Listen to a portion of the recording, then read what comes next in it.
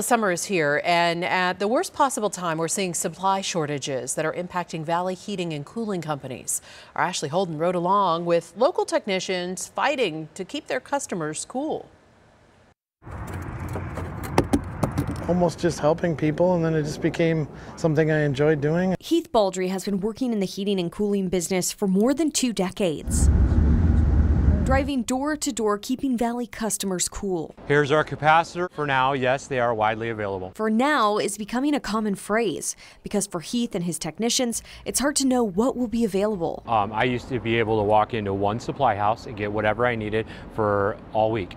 Now I have to go and make five or six trips to all the supply houses around the valley. Sometimes they even have to order from out of state. We search the entire country for parts if we have to. What's the longest wait you've had? There's uh, uh, we're trying to get a commercial air conditioner for a certain customer and it's 52 weeks. And for this job here, they actually needed what's called flexible duct. That's this right here.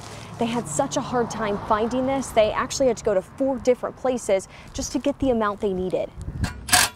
And prices for items keep going up. I think we saw almost 40% increase last year in air conditioning products alone.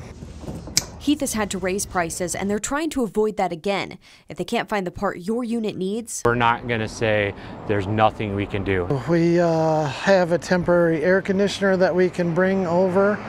Uh, we also have a company that will deliver temporary air conditioning if that's the case. But Heath urges people to make sure they're maintaining their unit, changing their air filter, and keeping an eye out for odd noises, odors, or a rise in humidity. His technicians say if you plan ahead, you'll probably have more options and not be stuck without AC. You're over 10 years old and you've made a couple repairs in the last couple years, start talking about it. In Phoenix, Ashley Holden, ABC 15, Arizona.